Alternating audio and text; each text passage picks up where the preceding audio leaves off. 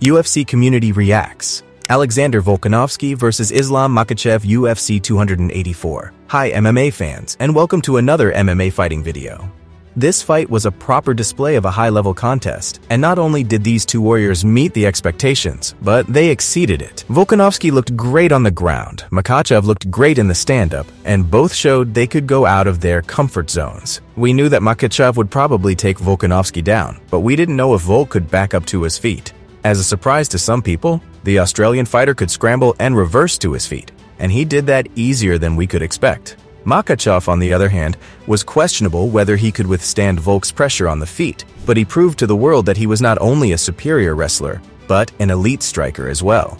He landed some beautiful hooks, while intercepting Volk's attacks, landed elbows and knees, and even caught Alex with some middle and high kicks. All things aside, both fighters showed big hearts and eagerness to win the contest. But at the end of the day, it was Islam Makhachev who had his hands raised. That decision did not go unnoticed and caused mixed reactions from the MMA community.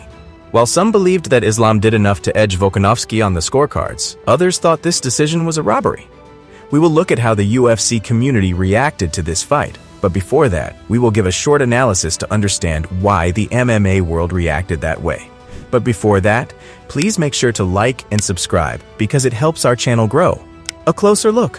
One thing both fighters have in common that distinguishes them from the others is their cardio. Both Volkanovski and Makhachev are known to have incredible cardio, stamina, and endurance.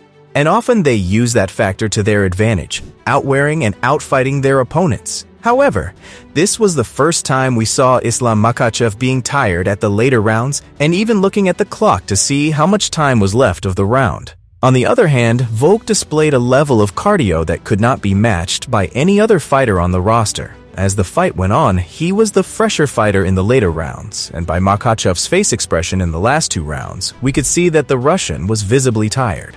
However, Islam proved to have a very high fighting IQ, and he showed that in the fourth round.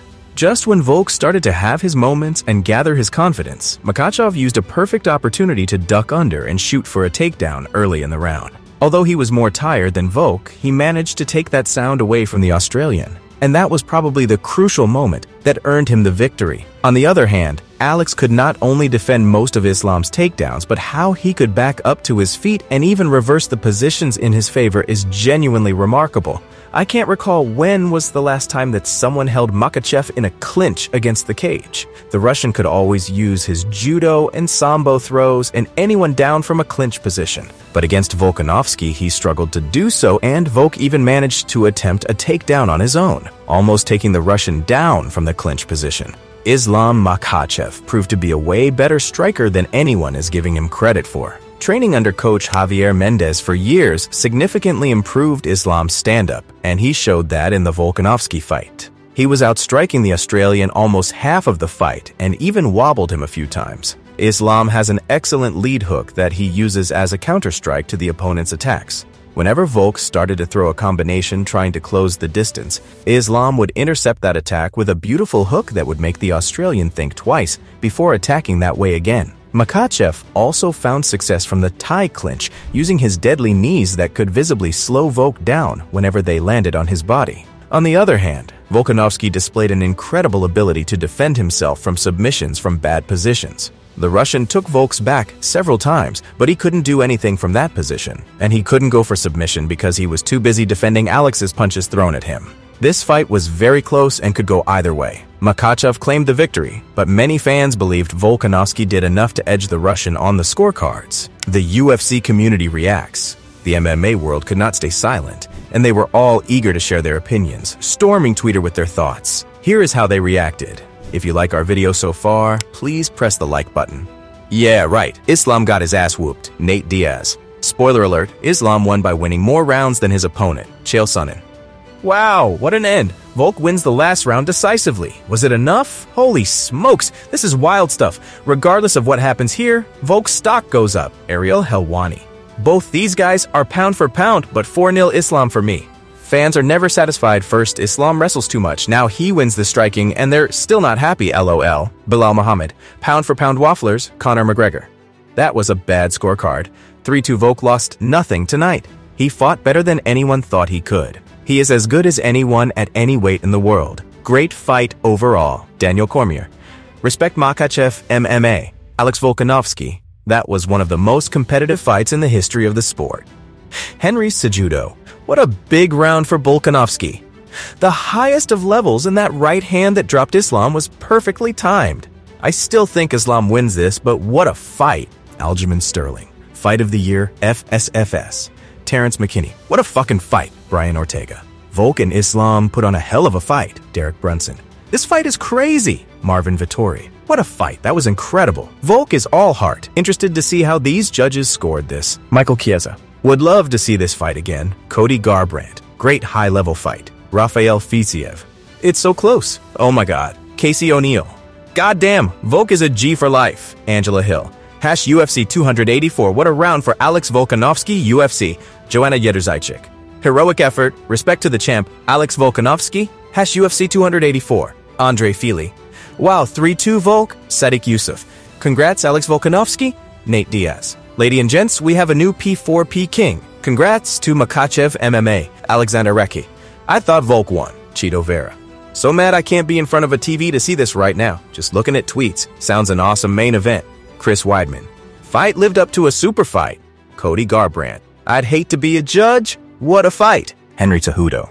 Wow, what a fight. Islam and Volk. Brad Tavares. Volk is still P4P number two. That was 40 so far. Belal Muhammad. Who did y'all think took it? I thought third and fifth went to Volk, and there were a few close rounds. Didn't think he'd take it? Bit wouldn't be surprised if he did. Angela Hill. As you can see, this fight was very close and caused mixed opinions. But all fighters agree that this was a legendary high-level fight that will be remembered for years to come. To end this, let's look at the controversial rounds and see if the judges got this right. Who really won? The scoring system used in the UFC is based on three criteria effective striking and grappling, effective aggressiveness, and octagon control. Judging by these criteria, Makhachev won. But let's go round after round to see if they got it right. In the first round, both fighters studied each other, respecting each other's skills, and none of them was ready to start aggressively and do something wild.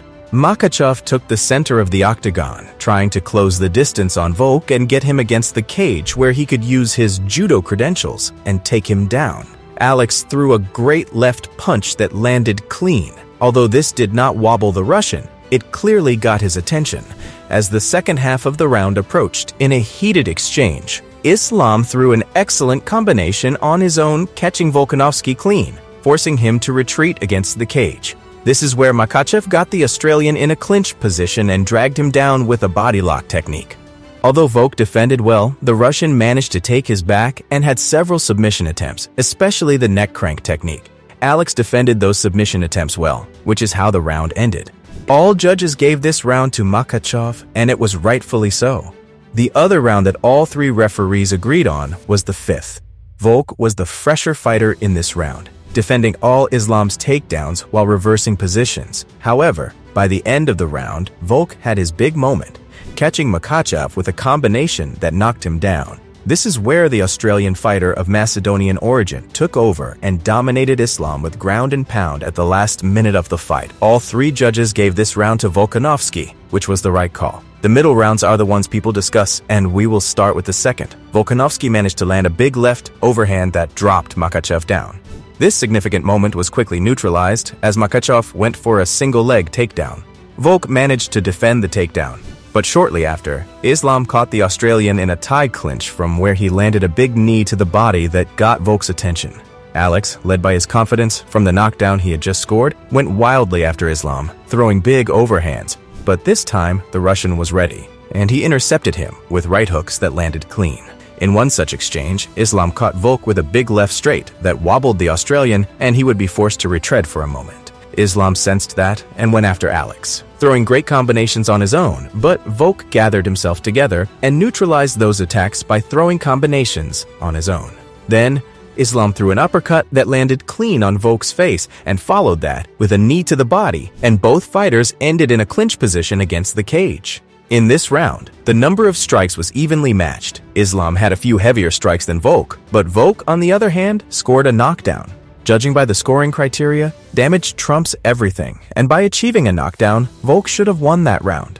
However, one could say that Islam landed more heavier strikes, arguing that those strikes outscore the knockdown, but that's a matter of perspective. The third round was evenly matched by the number of punches thrown. However, the judges gave this round to Makhachev, and here is why. Although Volkanovski had a good moment on himself, outbalancing the Russian with a big leg kick, Islam, on the other hand, threw more heavy and medium shots that caused way more damage.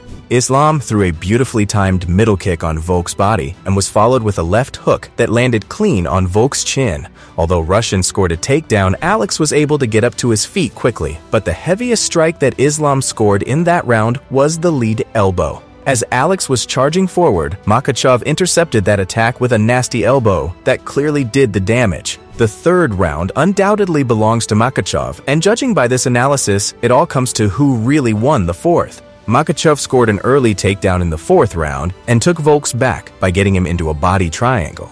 Although Islam had the dominant position where he could attack Alex with submissions, the Australian fighter kept punching Islam in the face, scoring way more strikes than him. On the other hand, Islam got himself in a position that could potentially end the fight. Judging by the scoring criteria, damage trumps everything, and Alex was doing more damage by punching Islam in the face. However, those punches were not significant strikes, and one could argue that they didn't cause much damage. Islam, on the other hand, scored a takedown, and holding Alex in such a position could potentially end the fight at any moment. The other aspect of the scoring criteria says that effective grappling that could potentially end the fight via submission is as important as significant striking. If someone argues that Alex won that round since he did more damage with his strikes, one could also argue that the effective grappling of Islam that could end the fight mattered more. This is the problem with the 10 to 9 scoring system. In Pride FC, they scored the bout as a whole, and if this fight was judged by Pride rules, they could have scored this fight a draw, and that would most probably led to an immediate rematch. And what do you guys think? Do you agree with the judge's decision? Leave your thoughts in the comments, and if you like to watch more content like this, please make sure to like and subscribe.